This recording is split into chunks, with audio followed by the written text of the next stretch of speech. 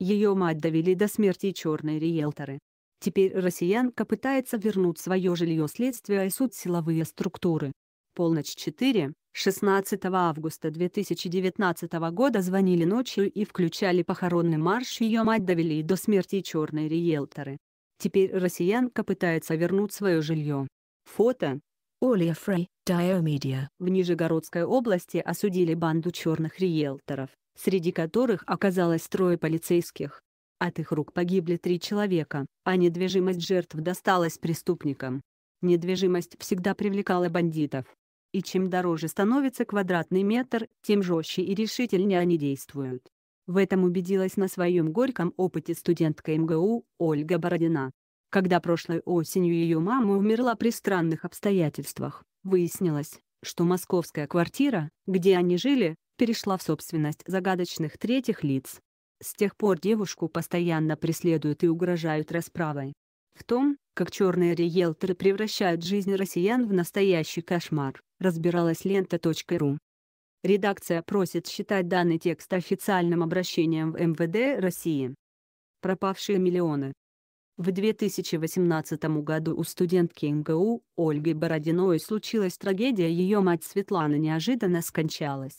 На этом беды в семье не закончились. Разбирая вещи покойной, девушка невольно раскрыла тайну, которую Светлана больше года скрывала от близких. Среди старых свитеров Светланы оказался договор о займе на 2,9 миллиона рублей под залог квартиры, который был заключен покойной с компанией микрозаймов Реал Инвест. На что женщина потратила столь внушительную сумму, так и осталась загадкой. Никаких больших покупок семья не совершала, а банковский счет Светланы Бородиной был практически пуст. Не нашлось у нее и тайника с наличными. Для студентки и ее отца-владельца небольшого охотничьего хозяйства долг почти в 3 миллиона рублей оказался неподъемным. Ольга была уверена, что мошенники обманули ее мать, и написала заявление в полицию. Через несколько дней Бородиным сообщили, что их история гражданский вопрос, который уже решен судом. При этом никаких повесток родственники покойной не получали. Тем не менее по итогам заседания суд постановил, что семья Бородиных должна расстаться не с большой суммой денег, а с трехкомнатной квартирой на Каширском шоссе. Загадочным образом жилье рыночной стоимостью в 11 миллионов рублей перешло в собственность третьего лица. Вскоре в платежных квитанциях появилась фамилия нового собственника некого Алишера Новичкова. Ольга Бородина на танцевальном выступлении. Фото из личного архива Ольги Бородиной. Мама очень любила меня и готова была пойти на все, чтобы помочь мне добиться успеха в танцах, говорит девушка в беседе с лентой.ру. Она тратила на костюмы почти всю свою крошечную зарплату администратора и постоянно приходила поболеть за меня на конкурсах. Отец это увлечение не поддерживал и деньгами не помогал, так что приходилось крутиться. В какой-то момент у Светланы Бородиной в одночасье испортилась кредитная история, Женщина помогла подруге, взяв для нее кредит в 50 тысяч рублей на свое имя, а та просто исчезла и перестала отвечать на звонки. Из-за просрочки выплат банки отказывали в новых займах и покрывать долги стало нечем.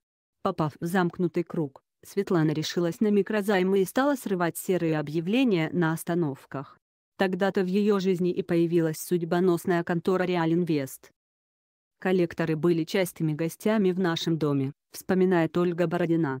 Они названивали сутки напролет, приходили и долбили в дверь. Мы с мамой даже выработали схему, чтобы до нас не добрались.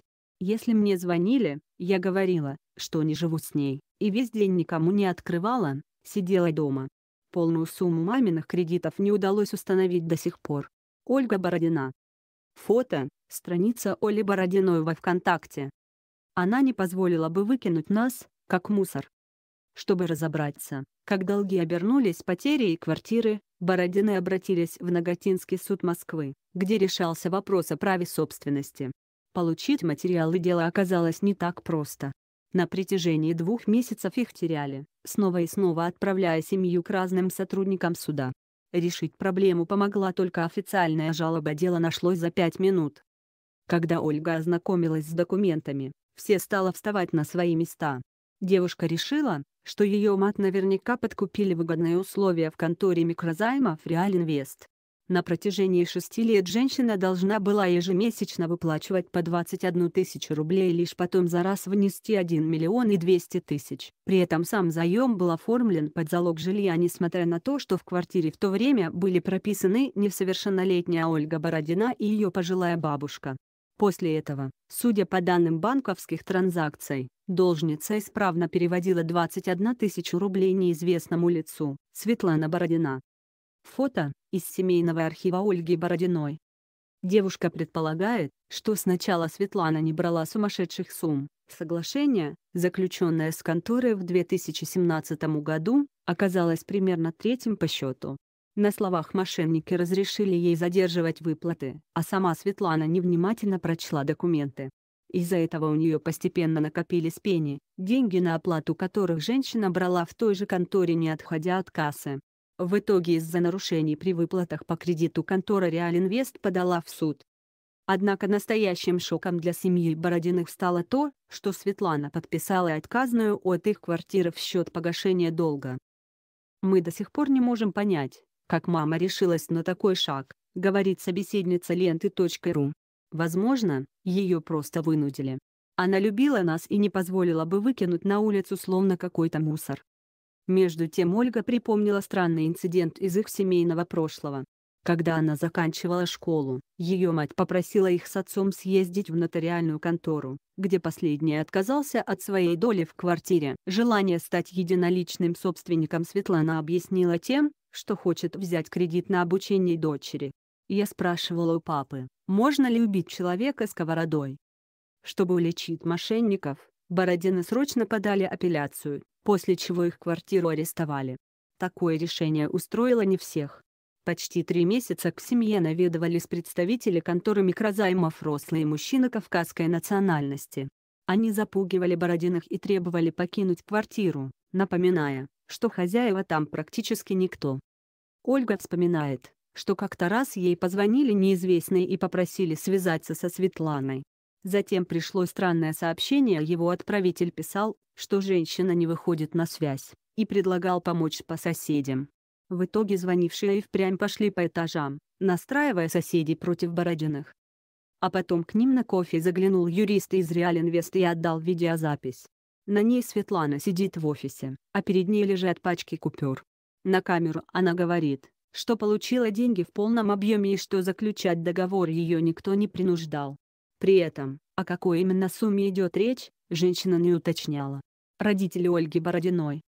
Фото из семейного архива Ольги Бородиной. Впрочем, как оказалось, представители конторы, с которой связалась Светлана Бородина, порой прибегают и к более жестким методам. По данным СМИ, один из учредителей Реалинвест Зауралиев владеет посредническим агентством, которая занимается быстрой продажей квартир и сопровождением юридических сделок. В 2015 году в отношении Алиева и двоих его коллег Никиты Васина и Дениса Золотова было возбуждено уголовное дело. Их обвиняли в вымогательстве. При обысках в офисе нашли множество ключей от квартир, вероятно, принадлежавших пострадавшим. Клиентами конторы становились малоимущие люди с тяжелыми заболеваниями или больными детьми. Если на организацию была записана лишь доля в чужой квартире, к хозяевам подселяли профессиональных соседей. Они избивали жертв, громили мебель с посудой и делали все, чтобы те продали оставшуюся часть за гроши. После года все заподозреваемых отпустили, но, как удалось выяснить Ольге Бородиной, уже зимой 2018 года подозреваемых арестовали снова. В сети конторы попали десятки людей, а на учредителя Алиева оказались записаны доли более чем в 50 квартирах. Сколько переписано на остальных фигурантов дела, до сих пор остается загадкой. По мнению оперативника из Управления экономической безопасности и противодействия коррупции, УЭБИПК, МВД России, общий ущерб от действий черных риэлторов может составлять более 300 миллионов рублей. Квартира Ольги Бородиной. Фото, Ольга Бородина. 1-2. В итоге Светлану госпитализировали и через несколько дней она скончалась.